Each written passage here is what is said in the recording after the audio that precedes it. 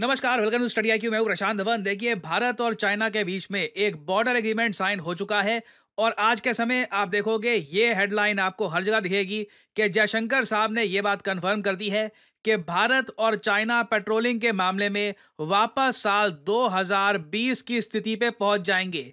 ये लाइन हर जगह आपको दिखेगी, हर आर्टिकल में आपको दिखेगी बैक टू 2020 ये बात भारत के विदेश मंत्री ने कंफर्म कर दी है। कि ब्रिक्स समिट 2024 से पहले। आप टाइमिंग देखिए। ब्रिक्स समिट 2024 से पहले ही ये न्यूज़ आती है कि इंडिया और China line of actual control पर डिसएंगेजमेंट करेंगे, जो टेंशन थी इससे दोनों कंट्रीज़ के बीच में बहुत ज़रा कम हो जाएँगी। और अगर यहाँ पे आप सोच रहे हैं कि क्या इस सब के पीछे एक रीज़न ये भी है कि जस्टिन टूडो और ना सिर्फ़ जस्टिन टूडो जस्टिन ट्रूडो के साथ जो फाइव वाइज ग्रुप है, जहाँ पर US UK New Zealand Australia और कनाडा ये सब आते हैं, क्या ये जो लगातार इंडिया को टारगेट कर रहे थे, क्या ये भी एक रीज़न है? देखो, मैं कहूँगा कुछ हद तक बिल्कुल आपको बोलना होगा। जस्टिन टूडो ने प्राइमरली कनाडा ने जिस तरीके से सैंक्शंस तक की धमकी दे दी इंडिया को, उसके बाद देखिए इंडिया को एक प्रॉपर रिप्लाई देना था। और व्लादिमिर पुतिन ने क्लियरली मैं यहाँ पर देख पा रहा हूँ कि जो भी डेवलपमेंट अभी सामने आई है, ये जो 2020 की हम बात सुन रहे हैं, ये सिचुएशन तक पहुँचने में रशिया का एक बहुत ही क्रिटिकल रोल रहा है। और नहीं, इंडिया, चाइना ओपनली ये बात बोलेंगे नहीं कि रशिया ने हमको यहाँ पर पहुँचाने में हेल्प करी है। बट आप इंडिया के फॉरेन सेक्रेटरी से ये स्टेटमेंट सुनोगे, उन्होंने कहा है कि रिसेंटली बहुत सारी मीटिंग्स हुई हैं साइडलाइंस पर, इंडिया, चाइना के मिनिस्टर्स की। फॉर एग्जांपल, रिसेंटली आपको पता होगा भारत के national security adviser Ajit Doval ये गए थे रशिया में। उस वक्त चाइना के नेशनल सिक्योरिटी एडवाइजर भी थे वहाँ पर। और उस टाइम मुझे अच्छे से याद है, यहाँ पे आप देख पाओगे सितंबर 2024 का आर्टिकल है NSA Ajit Doval's dual diplomatic mission एक तो व्लादिमिर पुतिन से मिलना है, साथ ही साथ चाइना के जो यहाँ पे रिप्रेजेंटेटिव आ रखे हैं, उनसे भी मिलना है। तो डोवाल साहब ने देखिए, यहाँ पर जो बात करी इस दौरान ना, रशिया के जो जियो पोलिटिकल फॉरम्स है, वहाँ पर यह थ्योरी काफ़ी डिस्कस करी गई कि रशिया ने जेनुअनली कोशिश करी इंडिया चाइना को एक टेबल पे लाने की। और उसके बाद हमने ये देखा कि अजीत डोवाल साहब की सेंट पीटर्सबर्ग में एक मीटिंग भी हुई थी। वैंग यी से बताया गया था कि दोनों कंट्रीज़ ने यहाँ पर ये जो सेंटेंसेज है, ये जो वर्ड्स हैं यूज़ किए कि हमको म्यूचुअल ट्रस्ट बढ़ाना होगा कंटिन्यूस uh, कम्युनिकेशन बहुत इंपॉर्टेंट है। ऐसी कंडीशंस बनानी होंगी जिससे बायलैटरल रिलेशंस इंप्रूव हो। इस सब के पीछे देखिए रशिया का बहुत बड़ा पुश था। और मैं यहाँ पर ये नहीं कह रहा कि व्लादिमिर पुतिन कोई बहुत ही नेक दिल इंसान है। वो चाहते नहीं थे कि दो कंट्रीज़ के बीच में लड़ाई हो। व्लादिमिर पुतिन और प्राइमरली मैं कहूँगा रशिया का एक बहुत ही बड़ा स्वार्थ है कि इंडिया और चाइना आपस में लड़े ना, ये दोनों कंट्रीज़ इकट्ठा आए, दोनों लड़ते हैं अगर तो ब्रिक्स कमज़ोर होता है। रशिया को इससे एक बहुत ही बड़ा जियो चैलेंज ये फेस करना पड़ता है कि इंडिया चाइना के जब रिलेशंस खराब होंगे, तब इंडिया के ऑटोमेटिकली रिलेशंस इंप्रूव होने स्टार्ट हो जाएँगे वेस्टर्न कंट्रीज़ के साथ।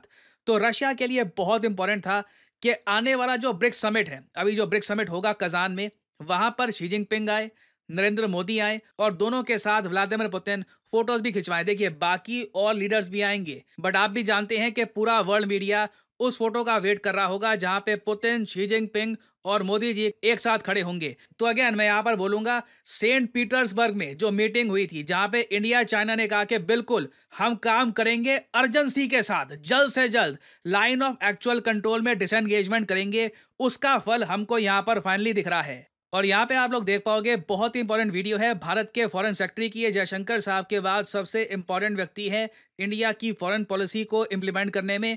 विक्रम मिश्री साहब यहाँ पर बता रहे हैं कि रिसेंटली जो बहुत सारी मीटिंग्स हुई है ना, वहाँ पे इंडिया चाइना ने एक्सटेंसिवली ये बात डिस्कस करी कि कैसे पेट्रोलिंग जो है पेट्रोलिंग होती है कि देखिए बॉर्डर पे उनके सोल्जर्स हमारे सोल्जर्स ये ध्यान रख रहे हैं कि कोई किसी के एरिया में एंटर तो नहीं हो रहा। यहाँ पर सिचुएशन खराब कब हुई थी? जब चाइना ने पेट्रोलिंग थोड़ी और अग्रेसिवली करनी शुरू कर दी, जब वो हमारे इलाके में आने की कोशिश कर रहे थे। इसी वजह से गलवान हुआ वेरियस और इंस्टेंसेस हुए। तो अब बात यह की जा रही है कि यह सारी प्रॉब्लम शुरू 2020 में हुई थी ना।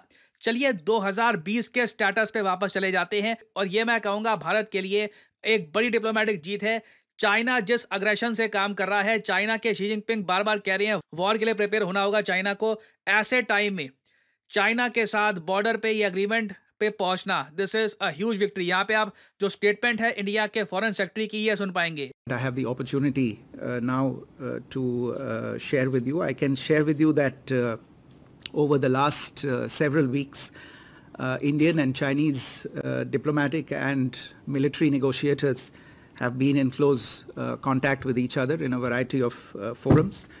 And as a result of these discussions, uh, agreement has been arrived at on patrolling arrangements along the line of actual control in the India-China border areas, leading to disengagement and a resolution of the issues uh, that had arisen in these areas uh, in uh, 2020. अब यहाँ पे अगला सवाल आपका यह आएगा मगर China के शी जिनपिंग अगर इंडिया के साथ डिसंगेजमेंट करना चाहते हैं तो दूसरी तरफ़ चाइना वॉर की बातें क्यों कर रहा है ये वीडियो रिसेंटली सोशल मीडिया में काफ़ी वायरल हुई थी। ये आप देख पाएँगे। ये कोई कपड़ा नहीं है। ये थोड़े पिक्सल्स कम है और ये चाइना की सेना है।